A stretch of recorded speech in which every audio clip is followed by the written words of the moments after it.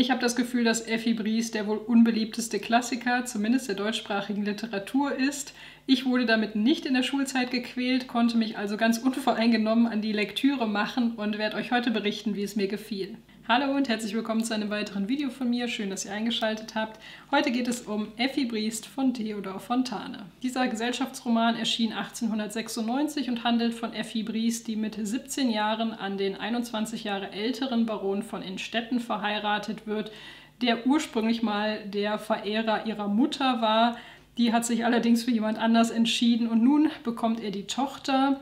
Die beiden ziehen nach der Hochzeit in die kleine Provinzstadt Kessin in Ostdeutschland und Effi Briest fällt relativ schnell die Decke auf den Kopf, denn in diesem kleinen Ort gibt es wenig Zerstreuung und Unterhaltung. Es ist eben keine große Stadt und darüber hinaus leben dort auch keinerlei gleichaltrige Personen ihres Standes, mit denen sie sich regelmäßig treffen könnte. Effi langweilt sich und fühlt sich in ihrem neuen Zuhause nicht wohl. Sie vermisst ihr Elternhaus. Das liegt auch so ein bisschen daran, dass das Haus, das die beiden Eheleute bezogen haben, sehr klein ist und auch nur halb bewohnt wird. Es gibt einen großen Tanzsaal über den Räumlichkeiten der Eheleute der weder genutzt noch instand gehalten wird, sodass sich Effi auch so ein bisschen gruselt in ihrer neuen Umgebung. Für all diese Empfindungen hat ihr deutlich älterer Ehemann aber leider gar kein Verständnis. Er behandelt sie so ein bisschen oberlehrerhaft von oben herab, macht sich lustig über sie und so ist Effi Briest recht empfänglich für die Flirt- und Annäherungsversuche des Majors von Krampas, der noch älter ist als ihr Ehemann, allerdings vom Charakter her deutlich unterhaltsamer und zugänglicher. Sie verbringt immer mehr Zeit mit diesem Major. Und so ist das ein Ehebruchroman, der sich auf die Umstände fokussiert, die dazu geführt haben und beleuchtet, welche Konsequenzen das für Effi Briest hat, wie ihre Eltern, aber auch ihr Ehemann und der Rest der Gesellschaft, ihrer Bekannten darauf reagiert. Und ich habe bereits den einen oder anderen Ehebruchroman dieser Art gelesen. Da wäre zum Beispiel Anna Karenina von Leo Tolstoi sowie Madame Bovary von Gustave Flaubert, das bereits 40 Jahre vor Effi Briest erschien. Und so kam ich nicht ganz umhin, diese Romane miteinander zu vergleichen. Und von allen drei hat mir Effi Bries tatsächlich am wenigsten gefallen. Und das lag hauptsächlich an dem geringen Unterhaltungswert dieses Buches. Wir haben hier einen sehr neutralen und distanzierten Erzähler. Das ist auch sicherlich volle Absicht.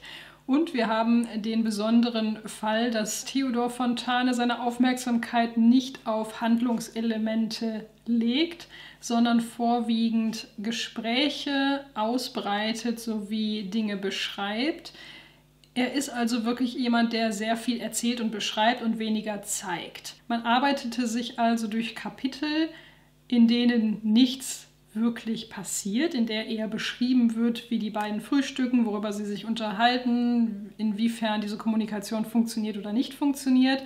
Und dann kommt es zu einer spannenden Szene, die wirklich nur einen Satz bekommt, zum Beispiel. Also das ist die Art und Weise, wie Effi Briest erzählt wird und das ist sicherlich Geschmackssache. Theodor Fontane wird dabei auch niemals konkret. Es werden immer nur vage Andeutungen dessen gemacht, was dort womöglich passiert ist. Man muss sehr viel hineininterpretieren, was einem natürlich auch nur möglich ist, wenn man sich mit diesen gesellschaftlichen Geflogenheiten zur damaligen Zeit schon ein bisschen beschäftigt hat oder eine entsprechende Interpretationshilfe zur Hand hat, sonst würde man gewisse Dinge einfach überlesen und gar nicht begreifen, was die Tragweite dessen ist, was dort passiert. Auch das, wenn ich das vergleiche mit Madame Bovary und Anna Karenina, war für mich etwas schwierig und ich habe es auch nicht verstanden. Man kann es eben nicht damit begründen, dass das Erscheinungsjahr so weit in der Vergangenheit liegt, weil wie gesagt 40 Jahre zuvor Madame Bovary erschien, das sehr, sehr konkret schreibt, was hier gerade passiert und dadurch wirkt eine Madame Bovary deutlich moderner als dieses Werk. Und so fand ich Effie Briest im Vergleich zu den beiden anderen Romanen deutlich langweiliger und weniger unterhaltsam.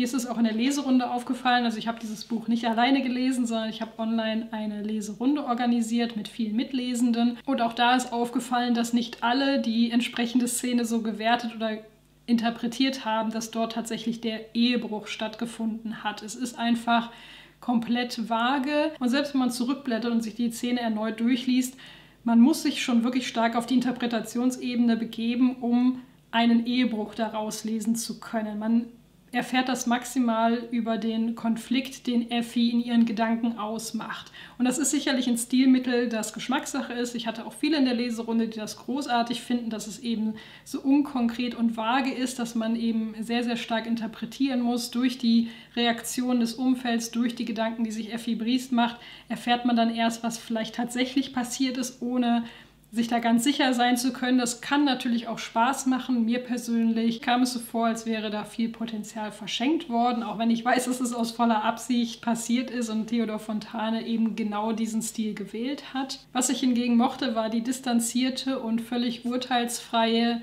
Erzählart, also der Erzähler wird nie parteiisch oder bewertet das Verhalten der agierenden Personen. Es ist sehr, sehr viel Moralität natürlich in dieser Geschichte. Es wird ganz häufig thematisiert, dass Männer in dieser Gesellschaft ohne große Konsequenzen untreu sein können, während das bei Frauen, sobald es rauskommt, den sozialen Tod bedeutet. Das heißt eine Ächtung, dass sie sich mehr oder weniger zu Hause einschließen müssen, dass es auch sein kann, dass die Eltern sie verstoßen, weil dann auch das Elternhaus nicht mehr von anderen betreten werden kann, wenn dort diese Tochter residiert. Und das zeigt zum einen die Doppelmoral dieser Gesellschaft sehr deutlich, als auch die Tragweite und die Konsequenz einer solchen Untreue, also dieser soziale Tod und was das für Einschränkungen für Personen dieses Standes bedeutet. Effi Briest könnte auch nie arbeiten gehen. Sie hat ja nichts gelernt. Das heißt, sie ist eigentlich darauf angewiesen, auf ihrem gesellschaftlichen Stand zu verweilen und kann das aber ohne einen Ehemann und ohne die Unterstützung der Eltern gar nicht. Und so sind die Zukunftsaussichten für eine solche Frau in dieser Gesellschaft und zu dieser Zeit wirklich schlecht. Und auch der Ehemann hat wenig Spielraum, wenn es um seine Reaktion auf diesen Ehebruch geht. Da gibt es auch ganz, ganz harte gesellschaftliche Gesetze, die einzuhalten sind, denen er Folge leisten muss, ob er das nun möchte oder nicht. Ganz einfach, weil jeder das erwartet oder von ihm verlangt. Und so zeigt sich in diesem Buch dieses extrem enge Verständnis von korrektem oder richtigem Verhalten, dem jeder Folge zu leisten hat, ob er es nun möchte oder nicht und wie wenig frei diese Gesellschaft war, obwohl sie ja alle sehr viel Geld hatten. Das ist ja hier eher so der Adelsstand und die Leute haben eigentlich ein sehr gemütliches Leben, aber nur wenn sie sich im Rahmen dieser Gesetze bewegen, die äußerst strikt sind in Bezug auf das, was jemand darf oder nicht darf und wie die Gesellschaft auf einen Fehltritt reagiert. Und da hat mir sehr gut gefallen, wie Theodor Fontana am Ende des Buches alle Beteiligten nochmal reflektieren lässt über das, was geschehen ist und all das, was es an Konsequenzen mit sich gebracht hat und man da schon so ein bisschen spürt, dass auch die zweifeln, ob ihre Reaktionen wirklich angemessen waren auf das, was da geschehen ist oder nicht. Sie aber relativ schnell merken, dass das nirgendwo hinführt, dass sie die Gesetze auch nicht ändern können, dass sie sich fügen müssen in dieses gesellschaftliche Konstrukt, in dem sie leben und dass jeder weitere Gedanke über diese Grenzen hinaus eigentlich nur unglücklich macht. Und so hat es trotz des neutralen und distanzierten Erzählers schon eine gewisse Gesellschaftskritik, zumindest lese ich das daraus.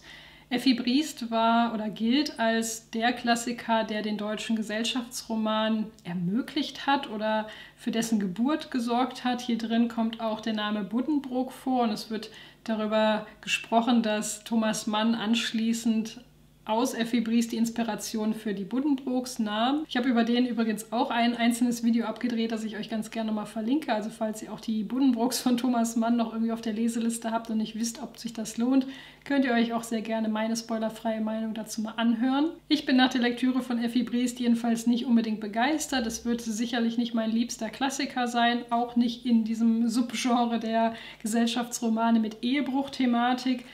Ich werde ihn trotzdem behalten. Ich habe das Ganze in so einem Schuber mit anderen Romanen, unter anderem eben Anna Karenina und Madame Bovary. Das heißt, thematisch passt das Buch gut da rein, aber es hat mir von allen dreien eben am wenigsten gut gefallen.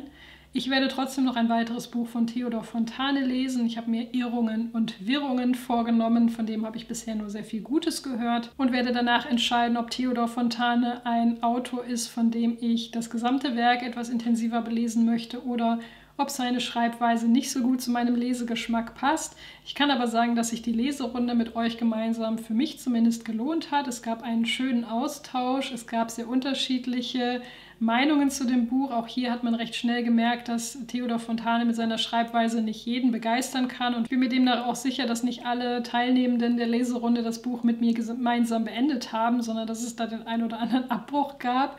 Falls ihr mitgemacht habt, ähm, lasst mir doch gerne mal in den Kommentaren da, ob ihr es beendet oder abgebrochen habt und wie euer finales Fazit ausfällt. Und damit hoffe ich, euch hat dieses Video gefallen. Ich wünsche euch noch einen schönen Tag oder Abend, je nachdem, wann ihr es schaut und hoffe, wir sehen uns beim nächsten Mal. Bis dahin, tschüss.